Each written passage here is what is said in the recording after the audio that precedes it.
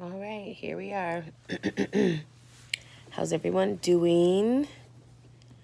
Um, I'm a little tired, to be honest. Uh,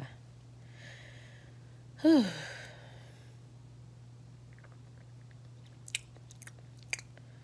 here at the hotel. We're not fully integrated into RV living yet, so it's funny. I had a really good day yesterday. I was able to get some work done. And then today I was so drained and so tired. I spent the whole day in bed. Um, if you guys hear sounds in the background, I'm in the room with my daughters. They're doing each other's hair. They're having their... But one of my baby girls is tenderheading. So if you hear any like, ah, ooh, ah, uh, that's what's going on in the background. Some braids. Um, yeah, so I had a really great day. I was able to upload some burlesque content, um, introduce a new part of my act that I've been sitting on and literally sitting on. Um, it's so many changes going on within me that I don't always know how to talk about them. And I don't always know how to like integrate them into my day to day. So I'll have like what I consider a bunch of mini tower moments, like breakdowns and meltdowns. And today I just slept. I didn't have a breakdown after doing the work yesterday. I just had like, I think I was tired because I think I spent a lot of time maybe like being hard on myself about it. And also so much time denying myself from what I really wanted to do and so by the time I did it, it was like, oh God, finally. And I realized that I deny myself so much. That's what the good sleep that I had today, kind of when I woke up, I always have like, if I sleep very deeply, I wake up with like a, a sense of clarity, if you will. And so I felt as soon as I woke up, I wanted some Timbuktu, some African food, I did get that. um, so we have some. I had. I they didn't give the, the egusi soup is not on the menu yet for like DoorDash where I'm at, but they have some other stuff. So I got jollof rice. I got um some fufu, plantain fufu, um, fufu. Gotta say fufu, the plantain fufu, and I got some um, it's jollof rice with some type of beef with onions. It looks like roasted, kind of like pan seared a little bit. Um, it don't have no sauce. And some cabbage on the side with some plantains. And the other thing, it, the, come with the fufu, is a beef soup with okra added. But it's not egusi. It's, it's the one that's red that has, it's a different version. So I'm excited to taste that. Um, so I, I got up and I went to bed like after work and everything. I want to say I came in, it would have been about 10-ish, 10, 10 30-ish. And uh, I woke up like just now. like maybe five something, five, four, four thirty ish, four, four, four thirty ish, between four and five. And um, I have a lot on my mind. I'm I have a lot on my plates, as they say. And I don't think that makes me different from anyone else. I think what makes me different from anyone else is that it's my story. It's what I have on my plate because it's me and my plate. So that's different from the next man or woman with their plate. So it's just that simple. And I'm learning how to like make space for myself in that way. And I don't think I have in the past.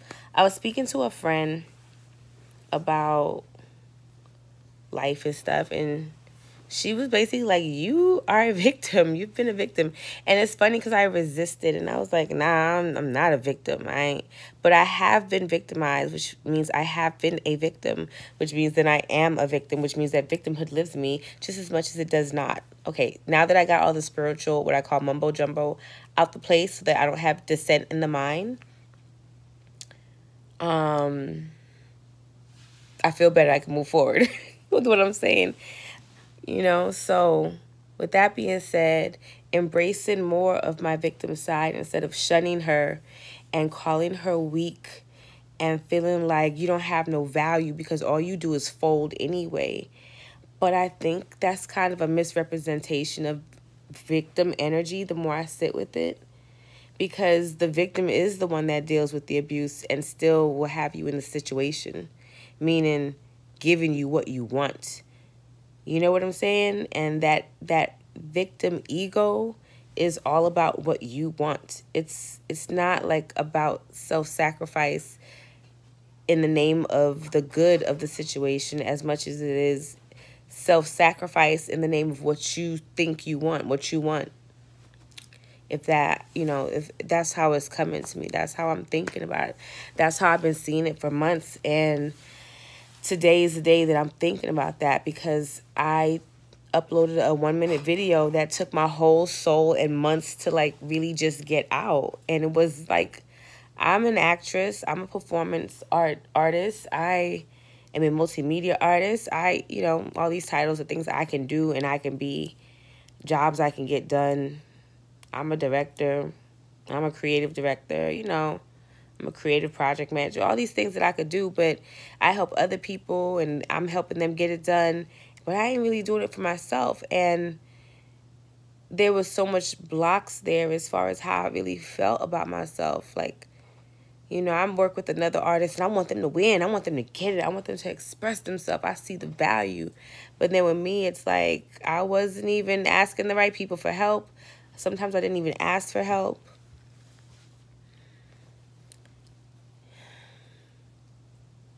But now that I have a lot more understanding of the knowledge I have for myself because I can now I can like I want to use a complete sentence with that statement.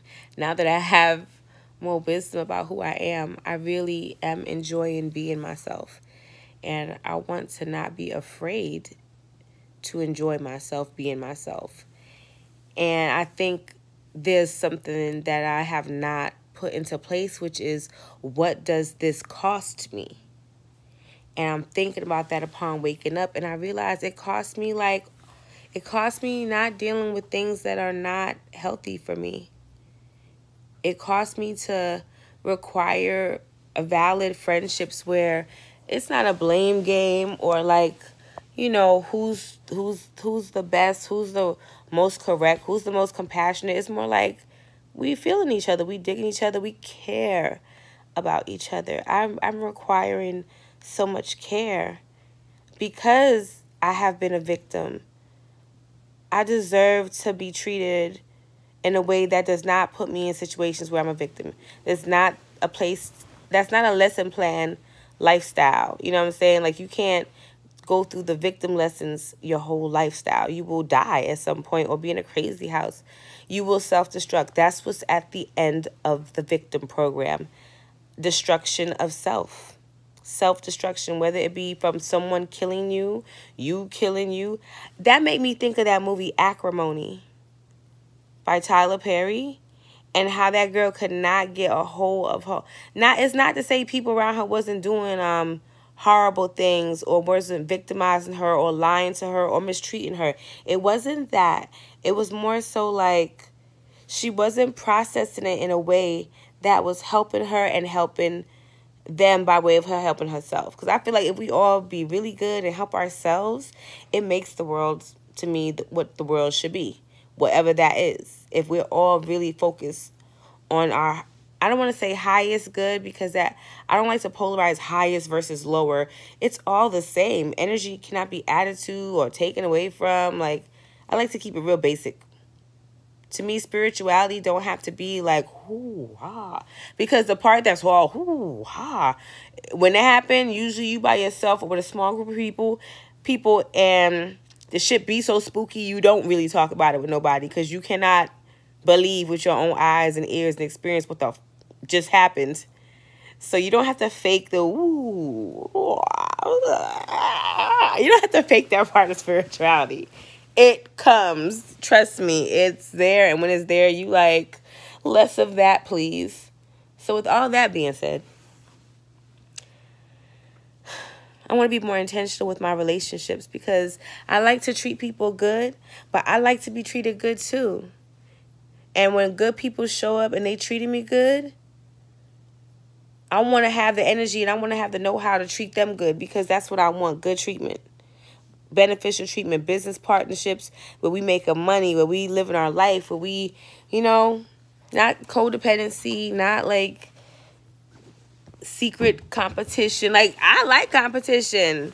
I do. So to have a, a work buddy, I can be like, yo, I got this, you got this. Let's run it. Let's see. Let's see. Whoever don't get the numbers got to buy the next person like their favorite shoe or some dinner or sing a song on my TikTok, something like that. You never know. Like just having fun as friends and using, um, using goals and objectives as ways to really motivate and push each other. Like I'm about that type of stuff. That's what my ideal relationships include. So even my romantic relationships, like I don't like relationships where we're not growing together, where we're not active, where we're not taking adventures. Like I want to take adventures. I want to do stuff that's adventurous. I want to be on the adventure of life. No matter what's happening. That's how I am. And I want to share that with people who could relate to that. And that's that's that. It feels good to even think about it and talk about it. So the victim allows me to know this because without victim knowledge of self, you don't know what non victim knowledge of self could look like. Meaning, I don't like that. I believe that um, we hear these types of lessons with law of attraction and we don't think about we and, and the word contrast is used in that language with law of attraction so it's it's all law of attraction but we like to think that one person or a group of people coined that it's it's it's a is. If it's a law if it's a natural law a universal law it's a is. That again that's how i like to think about it. It's a is meaning that's is what's gonna happen. That is what is happening. And there's no way it it's not gonna happen. It's it's always happening. As long as it's happening. It's real simple to me. So with that being said i've learned how when i started I'll put it this way. When I started, when I was in therapy, I did cognitive therapy. I had the best doctor, like, whew. Anywho, she was the best doctor for me because when I told her, hey, I'm in here, I don't want to sit here and talk shit about my mother. I don't want to go on and on about my mother. And I also don't want to take drugs. I don't want to be on any psych psychiatric. I don't want to do that. I don't want drugs. I don't want my mind and my inner body to be. I like I already when I started therapy. I was twenty four. I had some therapy before that, little bits and spurts, counseling sessions, but con consistent therapy for about two years. Um, and then after that, a year and then frequently after that definitely frequently and then for about six months to a year after like i have therapy. Like i go to therapy now. That's a regular you know how people go to the spa? I go to therapy. I take my children to therapy. Like that's something we do for like mm, this human journey is a little bit tough. Let's do some therapy. Let's make sure and what i learned about cognitive therapy which is my preferred type of therapy and maybe sometimes some good talk therapy. Um, what I learned was how to repave my roads. So I have certain exercises, certain mental processes which I can go through, which will help me from re-damaging my roads, roads, my mental roads, my mind. I know how to repave it if something should get a little tough, you know. I know I know certain things because I went to therapy. Um, I grew up in a way that I grew up in a cult and I grew up in a very like um, a household that was a little bit like emotionally not the best household for me. Um, lots of unprocessed trauma and abuse, and I was someone who was like already at a very young age into processing things and like dealing with stuff directly as a child. I wasn't bad. I was just very like directly sweet and interested, if that makes sense.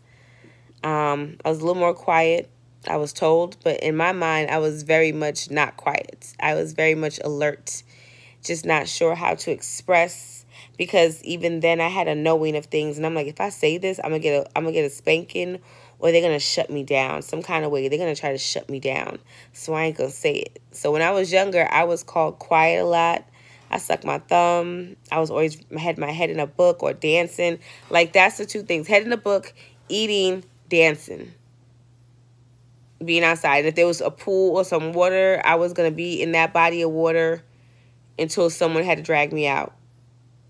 I've always been an active child, even though I was a chubby child. You know, I grew up chubby or big body, whatever you want to call it, thick. I don't know how you describe that, but it didn't stop me from moving or wanting to move my body. So, so and I say all that to say, like, I've had a good awareness of myself my whole life, and I've had a good awareness of others. But I didn't have an awareness of my life, most of my, you know, growing up my developmental life and young teenage and even young adult life before therapy, I didn't have an idea of how valuable I was to myself. I didn't have um, an idea of how special I am, how worthy I am. Um, now I have those ideas in place and that knowledge in place and how to grow and expand and live in that space of self awareness. But again, these are things that being a victim taught me because being a victim is what got me to go to therapy. That victimhood, somebody putting their hands on me, someone controlling me financially, someone controlling me mentally, um, harming me emotionally, neglecting me emotionally, emotionally, neglecting me mentally when I was supposed to be in a situation where I could depend on them, where I had no choice but to depend on them yeah, I'm very thankful for my friend. Um, she's a profound person, and um, I care about her a lot. And she's a new friend. I'll be honest, you know how we have the whole thing, no new friends. I'm glad I don't believe in that because if I believed that, I probably wouldn't have opened up to her. So with her expressing to me sometimes things that are hard to hear and holding me accountable to my bullshit, make sure you have friends around you that be like, that sounds stupid what you're saying. and that y'all can come back from that. And not that they're abusing you, not that they're calling you stupid. They're saying this idea is one that's going to make you feel stupid later on. Like they know you. It's good to have people around you that know you because in a world where we're all going through several different types of consistent programming and traumas, like it's we're being traumatized by seeing certain videos on the internet or TV, movies, the air quality, the water quality, certain things that are always happening in the realm of earth, especially within the United States of America, that can be seen as like really like, oh God. You know, so we're all going through it. And pollution, you know, come on, let's let's just keep some shit real, keep it real basic, keep it simple. Again, I like to keep it simple. We ain't gotta go all into, you know, I mean we know it's a lot of terrible things happening that don't have to be happening. But these necessary evils are happening, even if just for us to pay attention to that this is happening. And that if we would like to add a change in the um, matrix, in the programming, master programming, we could do that. I've been drinking lemon water today. I haven't been having much water since we've been in the hotel, which is weird. Like I just was like on some like no water shit. Like I really did not have water for like two, three days. I don't even know what that's about. So now I'm having some, I've been having lemon water today. Getting back in my water flow because I felt it in my skin. I was like, I need some water. Um, even just missing the taste of water. Like I needed some water. And so I had some lemon water, which is my favorite type of water. But then I like sorrel water too, or what y'all call hibiscus water. And I had ordered some Bissap, Bissap, I hope I'm saying it right, juice from the African spot. But for the last few days, the DoorDash people been like, y'all, I don't know what's up with DoorDash. Like, and then, so you telling, DoorDash, let me, let me, let me do a side post real quick. So DoorDash, you're telling me that if my order keep getting messed up, y'all gonna tell me, oh, because you've been having so many issues, we can't do nothing about this issue. But the issue is not I didn't create the issue. I mean, maybe I did because I ordered with y'all service. Maybe I need to try another service, DoorDash. missing stuff. And I feel like if I pay for something, I don't really want the money back. I want y'all to go get my stuff. Bring it back for me. I don't like substitutes and I don't want my money back. I wanted my Bissap juice. I love the way that um African culture does sorrel or hibiscus tea. It tastes like Jolly Rancher candy juice. Like, I want more of that. And it's a healthy drink. Maybe, you know, with the white sugar, it ain't the best healthy, but I got to get their recipe and figure this out. Cause...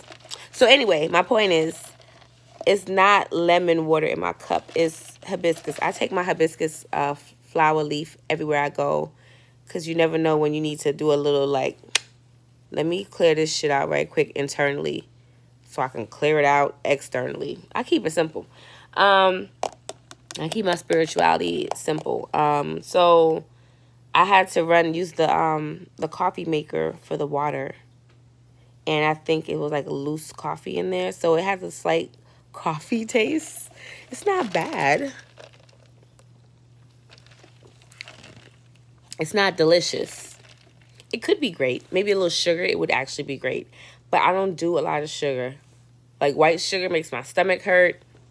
Don't make me break out, but it definitely makes my stomach hurt really bad. Like in a very bad way. I don't even get the shits and nothing. I just get this cramping ass stomach, which I hate. I hate it. I hate it. I hate it. Um, it also makes me dry in my body when I do too much sugar in everywhere, like my eyes, my mouth. I get I get dry. I don't like that. I like to be juicy. juicy is my preferred state of being. So, yeah. So with me having all this self-knowledge at a young age, but not having the wisdom of application of self-knowledge, which I'm now getting, and sleeping all day, I realize I haven't been being good with myself. And part of part of being good with myself is giving myself the outlets that I need and and and sitting comfortably with who I am. I I am a performance artist. And I noticed that most of the one woman material that I create, most of what I privately make in my own, all the journals I have, all the um, screenplays I have, all the synopsises I have for plays, all the plays I've written privately. I've been writing poetry since I was in elementary school and I've been published in my school um, papers and stuff like that. Like, you know, things like that. I ain't been published like nowhere, like, you know. but I've been doing my thing as a performance artist, as a entertainer, even if you will, as a as a jester of the court for a minute. For a minute. I'm 40 now. I have a 22 year old and a 15 year old. They'll be 22 and 15 in April. So I've been grown for a minute and I've been performing for a minute, like my whole life. I've been enjoying um, making people feel good, making people have ideas, making people be inspired, making people feel like they can. You know, I love that. I love one of my favorite things about being a performer is like when you get like especially in theater when you get to the venue and you see the stage for the first time, oh my God. I'm the kind of person, I'd be like, I gotta go make love to the stage. I have to go make, I, I have, I, I merge with the stage. I gotta go like, I gotta go do intercourse with the stage. And how I do that is a very simple process of just introducing myself and, and speaking to my intention on that um, intentional space, which is a stage. I love what we do as performance artists. I love other musicians, dancers, actors. I'm a painter. I do a lot of things and I enjoy the things I do, but then sometimes I don't feel I'm worthy to do them and I won't. And then I'll be backed up. You know what it is to be like creatively backed up? I don't even be creatively constipated. Because, you know, constipation is when you want to go and you can't. Well, yeah, I guess I'll be constipated and backed up then. Shit. so, yesterday made me, like, really, it was, I was so nervous to do that video. And I want to give a shout out to my homeboy Demetrio, aka Micho Productions, aka Micho Promotions. Like, he helped me edit the video. He helped me, he helped me to make it be, get it done. He helped me to believe myself. I'm not going to cry. I am not going to cry. I need that in my friendships. I want that in my friendships. I have a unique situation where I was raised in some bullshit. Let's just keep it real. That doesn't support who I really am. So I have to work through things. I have to go through emotional ups and downs that most women might only experience in their cycle during their PMS time or, you know, or maybe not even ever. I go through a lot of cycles of emotions, a lot of ups and downs, and I need people around me who who understand this and who don't take this as a personal um, affront to them. Take my moodiness as something like I'm doing something to them. Because I'm not. And if I am, I own it and I can say that I am. That's why, you know, I, I, I'm working on not even ghosting I've been calling people. I'm that I'm I have a lot of friends. I realize I have more friends than I give credit to, and I realize that when it's time to call everybody, I could get in a space where I'm like, I have no one. No one's here. I'm alone. I'm so alone. right? I can get there. But then I have a feeling like I want to talk to people that I love. I want to connect. And I'm like, dang, it's a lot of them. I want to talk to people I connect with and people who connect with me. And I'd be like, ooh, that's a lot of phone calls to make in one night. Yeah, man. You know, but what the worst thing to do is make that phone call. And no matter, you know, what's going on, is that you get rejected or you be like told that you, you know, it don't feel good. And then you're just like so i'm supposed to work through this now? And you don't even and what to me the thing is like when they don't know that there's an issue that's the issue for me. Because that means you're not tapped in emotionally. I need that. Because i be tapped in emotionally. You know what i'm saying? And I used to do that for the wrong reasons, you know, trauma bonding bullshit. But now it's like, nah, I want the good I've I'm experiencing some good stuff. You know, we friends, but I never hear from you. I'm always calling you. You never call me. I'm done with those one-sided um, um, friendships and and relationships. I can't do it. I don't want to do it. I don't want to do the fake friends thing. I don't like. I don't want to watch you be fake with other people and then think you being real with me. I don't want that no more. I don't. I don't want to be that way no more. I don't want to be ways that are not good to myself because when it's time to create you know, I don't feel like I can. I don't feel good. I don't feel worthy. I got to work with the integrity that I actually work with. And it's a lot. I got a lot of integrity. I have a lot of truth in me. I have a lot of is energy in me. I have a lot of like, it is what it is energy in me. And I ain't really sitting on that because I'm afraid that this person's going to be sad. But they don't care about me being sad when they hurt my feelings. They don't care about who they hurting to, hurting or lying to. They don't care about who they trying to control and manipulate. But I do care. That's why I don't like to control and manipulate. That's why I don't like to play fucking games with people. I don't I don't like emotional games. I don't like when I have to move a certain way like to me, I don't like secrecy is the cold bullshit. What is not supposed to be spoken about is not going to be spoken about. Point blank period. But then it's something need to be spoken about, but somebody's like, nah, you can't say that because you know it might it might jeopardize what they got going on in a certain way, or it might do this on that level. I hate when I gotta move like that. Cause I'm like, why we just can't be real? To me, that's how a lot of abuse happens in the community. I think about people doing all kind of spiritual or social club rituals, whether they be Masonic, fraternal, sorority, um, ancient ritual initiations done with certain religious groups and stuff like that. You doing these things. And then the fact of the matter is, you doing this shit, right? You doing this shit. You doing these things for these people. You paying this money for this access, all kinds of things. But then ain't nobody talking about how ever since we did that ritual, I be wanting to eat little boy booty holes. Or I see blood and get turned on now.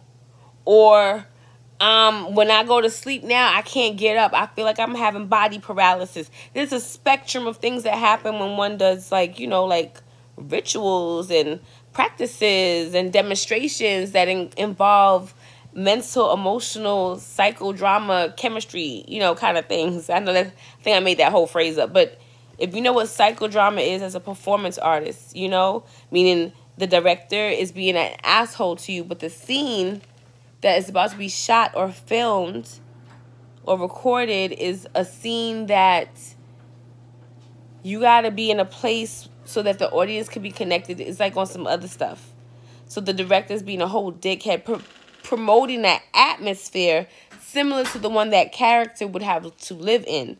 When you do, when you get with a man, I tell you, I've worked on some sets. I've worked on some sets. When you get the right director, the right creative team around you, you can create some powerful stuff when you know what you're doing. And I be seeing people who know what they're doing. Believe that. And I have an eye for it. So I, I know those who are using psychodrama, using trauma, um, MK Ultra tactics. Because a lot of these tactics, and I was talking about my therapist, you know, cognitive therapy. But we're going to get back there. Right now, I want to talk about, like, if you imagine if you know how to heal yourself, imagine what you can do to those who you see are not healed and how you can hurt them and how you can play with your own healing. I don't like to play with my healing. So yeah, Dr. Rose, that was her name, Doctor. Her name was literally Dr. Rose. And I remember I was like, because when I started therapy, I was pregnant. Things were already happening that were really fucked up. And I was having my second child and I was not well, but I understood the psychology, I guess you could say, of when you're pregnant and how everyone is focused, hyper focused on the baby. That everybody wants to make sure the baby is good, the baby has stuff, blah, blah, blah, the baby, the baby, the baby. For me, I was like, that means I can focus on myself. I can take care of me because everyone's focused on this baby. No one's focused on me. So I can focus on me. And I went to therapy and Dr. Rose, I said, I don't want to talk about my mother and I don't want to be on medication. And we did cognitive because it, it, was shocking to me that there's medication you can take. Yo, did y'all know, like, not trying to down anyone's situation or anything like that, but like, if you have a mental disorder, they will give you these medications. I love this picture. It keeps like drawing me in. um, there is there is medications that you could take for your mind. I don't know the right term, psych psychiatric, whatever, psychological. They will give you medication when you're pregnant. I'm not down for that. I ain't down for that. I don't agree with that. I don't know if that's a bad thing to say, a good thing, but I ain't a beneficial thing for other people. For me, that's a non no. If I'm gonna do drugs, I'm gonna do drugs. I'm not gonna shortchange myself and be like, I'm not going to smoke a joint, but I'll take this medication that has all these things in there that we're not going to talk about right now. That's a whole nother video. And I'm pregnant too. So I was like, no, no drugs. And what I, but also what I want to say about therapy is the reason why she was a good fit for me and what the reason why I tell other people to shop around when it's time for you to do therapy therapy, ask questions about where they did their residency at, um, what do they specialize in, what do they love to do in therapy. When when she told me her answers, um, yeah, I interview my I interview like my my a lot of people who really know me know that I'm a very shrewd person. I'm a very detailed, very direct, upfront kind of person. I'm not always the most chipper, like, oh my God. That happens a little bit when I'm nervous, and that happens when I'm in a really good mood. Those the I'm chipper when I'm in a good mood and I'm chipper when I'm nervous. And when I'm also in a good mood, I could just be direct as all get out, you know? No no no no no no no how they say no chaser. No sugarcoating. When I'm sugarcoating stuff, it's because I don't trust you. Point blank, if I'm sugarcoating anything to anyone, I don't trust them. And I don't feel like they need a real answer from me. I don't think they're deserving of a real answer from me for whatever reason. And I'll leave it at that. So she took her residency, Dr. Rose, my therapist, my cognitive behavioral therapist. And I'm getting my certification in cognitive cognitive behavioral um, sciences as well so I can better help my my clients because I love the science. I love I love that type of therapy. I love how it helped me. And I'm like, how can I help other people with this? And with me being a, um a coach and me being able to give wise counsel and me being a minister, I'm like, I want to be able to use all these titles to assist people in being themselves, being good to themselves. And so cognitive behavioral therapy saved my life. And I'm learning everything I can about it short of becoming a uh, you know a whole counselor or a psyche psychiatrist myself so that I could assist my clients and my my groups you know? So so she took her residency in places like Haiti and places um I'm trying to remember I want to be accurate Haiti was one somewhere in Africa I believe. And she had a knowledge of like people who are brown people and deal with spirituality as their religious base. Um, so at the time, her asking me, was I like Ifa and all these things? And I was like, no, I didn't even know anything about those things. And I was like, no. Um, I told I was just West Indian, raised as a Trinidadian, and then we got into a religious cult in the United States in of America in Brooklyn, New York. And my life went on a certain trajectory, and now I was married to a man that thought it was okay to put his hands on me and abuse me in every way you could abuse someone except for yeah i don't think he never raped me or nothing so i never had no sexual abuse trauma from my ex-husband. Not at all. Quite the opposite if anything. But as far as financial abuse mental abuse emotional abuse physical abuse yes. And um yeah so and then you know growing up being emotionally neglected, um, being gaslit a lot, um, being put in situations that I should have never had to be put in as a child or as a young person or as a teenager. And just doing the best I can and also not trying to demonize anyone. I think people don't understand with someone like me, when I talk what I talk about, you got to be honest with it. I ain't never come at people the way people say I come at them. I don't do that if I did, we would be having problems for real. But just because I speak about a truth that I experienced with someone and they not used to seeing themselves that way or they're not used to no one calling them to the table on their behavior, it doesn't mean I did a wrong thing. It doesn't mean I did a bad thing. And these are things I am learning. I didn't do a bad thing because I spoke to truth because I said this is what happened. This is what I experienced. I didn't do a bad thing. Now, you know, you don't have to listen to it. You don't have to agree with it. You don't even have to believe it. You don't have to support it. But I can say what I got to say. So with that being said, I can also do what I want to do. And um, that burlesque video to upload that, that took everything. And that's not, and that's a new thing that I do just to be, you know, That's a new thing. So it's still a little ashy, but that's okay. I'm excited. I'm excited about life. I'm looking forward to a lot of things. Spring is coming. So, you know, a lot of you um, who know me as Oya Gold, the owner of Gold Energy Management, we, I went on a winter hiatus so I could better serve my clients and my groups and my community. And um, we gearing back up. But, you know, I'm dealing with some internal changes. We transition as a family um, in a lot of different ways. In a lot of different ways. And I'm just, it's just me learning how to take things in stride and not take everything so personally and so like, it's the end of the world because it don't always be the end of the world. Just be the end of some bullshit, the end of an idea, the end of a journey, the end of a relationship, you know. And even really not the end, just the transforming of something into something else. So yeah, I'm I'm looking forward to being more personal. I miss getting on here and doing these types of videos. Like I wanted when I first came on, I didn't know what I want to do on YouTube because I do so much. I'm a business owner, I'm an entrepreneur, I'm a healer, I'm a teacher, I'm a mom, I'm an entertainer, I'm a writer. I do so many things. and I was like, how do I get this all out here without sounding like y'all remember coming to America and how the girl was like, um, so really I'm a pop star and like, but I want to, I'm also an actress and I really want to direct. I want to write my own movies. And was, she was just going on and on and on. I see myself in her and I'd be like, Ugh.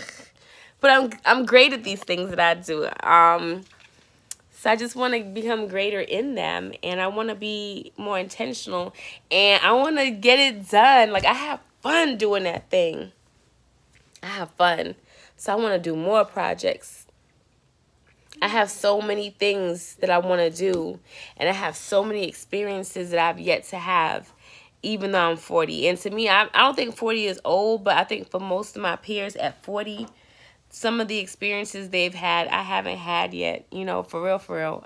I grew up in a cult. I think people don't understand when I say that. Like, I didn't have I didn't I didn't go to school for middle school. So it's a couple years there where I wasn't in traditional school setting. I wasn't living a traditional life. And then even after those two years of moving around within the cult, when we got more stable, we were still under that mindset. We were still under that doctrine, that programming. So so yeah. So like I'm healing still and I'm realizing that more and more every day. And I want to talk about what it means to be a healer that is healing. You know, an actor that doesn't always want to act, that sometimes just wants to be, you know. Mm. I'm not going to do that to myself right now because I can show dramatize up some tears by getting too deep in my own emotions. But I got to learn how to not run from my own emotions because they be deep, y'all. My emotions be so, so, so deep. And I just try to hide it. And I just try to control it. And I just try to like make it pretty or make it, you know, good for others. But sometimes that's not the point. And um I'm getting better at recognizing when that's not the point. And sometimes you just got to let those emotions be honestly what they are which is present. So this is 41 minutes already. I ain't going to keep going on. I just wanted to spend a minute since I did an actual online journal about how I was feeling and where I was at and what's going on.